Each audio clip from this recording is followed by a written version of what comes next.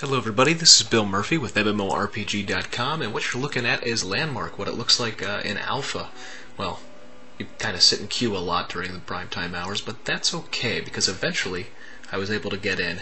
And now I'm not going to talk too much over this, I just want you to see what the process is like right now, how early it is. But as you can see, you get in game, you've got this hub, and you've got your fancy outfit if you're a trailblazer or if you're a founder member, and you basically have to go out find your claim, find some place to build something, which is hard to do because everybody seems to have grabbed a piece of land before I could. So what you'll notice is this is all about me mining resources, collecting logs, finding nodes of minerals that I can't mine yet because I don't have a strong enough pick, and then just kind of walking to the very edge of the earth until I can find some place to call my own.